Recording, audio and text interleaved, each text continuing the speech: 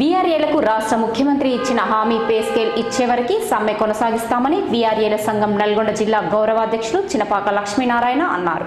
నల్గొండ మండల తహసీల్దార్ కార్యాలయం ముందు న్యాయమైన డిమాండ్ల సాధన కోసం వీఆర్ఏలు చేస్తున్న సమ్మె తొమ్మిదవ రోజు కొనసాగింది.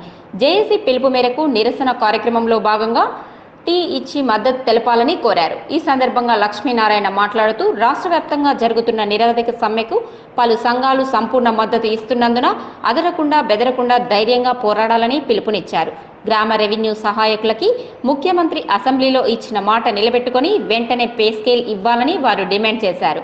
హామీ ఇచ్చి రెండు సంవత్సరాలు గడుస్తున్నా ప్రభుత్వంలో చలనం లేకపోవడంతో వీఆర్ఏలు దశల వారీగా పోరాటం చేసి గత్యంతరం లేక సమ్మెకు దిగారని అన్నారు. సిఐటియు జిల్లా సహాయ కార్యదర్శి దండంపల్లి సత్తయ్య మాట్లాడుతూ వీఆర్ఏల న్యాయమైన పోరాటానికి సిఐటియు పూర్తి స్థాయి అండదండనిస్తుందని తెలిపారు. వీఆర్ఏలు గొంతెమ్మ కోరికలు కోరడం లేదని బంజారాయిల్స్లో బంగ్లా లక్షల రూపాయల వేతనం అడగడం లేదని ముఖ్యమంత్రి ఇచ్చిన పే స్కేల్ అర్హత వాళ్ళకి ప్రమోషన్స్ యాభై ఐదు సంవత్సరాలు పైబడిన వీఆర్ఏ వారసులకి ఉద్యోగాలు ఇవ్వాలని మాత్రమే అడుగుతున్నారని అది కూడా ముఖ్యమంత్రి చెప్పిన విషయాన్ని అమలు చేయమని కోరుతున్నారని ఇది కూడా అమలు చేయకపోవడం ఎక్కడి న్యాయమని ప్రశ్నించారు. సమస్యలు పరిష్కరించకుండా ఉద్యమాన్ని విచ్ఛిన్నం చేయాలని చూస్తే సిఐటియు రంగంలోకి దిగుతుందని వారు వెన్నంటే ఉంటామని అన్నారు. ఇప్పటికైనా ప్రభుత్వం స్పందించి వీఆర్ఏ జేఏసీ సంఘాల నాయకులను చర్చలకు పిలిచి సమస్యలు పరిష్కరించాలని లేకపోతే పోరాటం ఉధృతం అవుతుందని హెచ్చరించారు.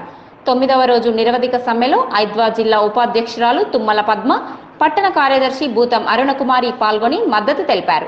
ఈ కార్యక్రమంలో విఆర్ఏ జేఏసీ మండల అధ్యక్షులు దేశగాని నరసింహ డివిజన్ కన్వీనర్ గిరి స్వామి ఉపాధ్యక్షులు బాలస్వామి ప్రధాన కార్యదర్శి కె నరేష్ గౌరవాధ్యక్షులు బి మారయ్య సభ్యులు దుర్గా మహేశ్వరి ఆర్ నరసింహ ప్రదీప్ శెట్టిపల్లి సైదులు వెంకటేశ్వర్లు రాబర్ట్ స్వరాజ్యం అస్లాం తదితరులు పాల్గొన్నారు.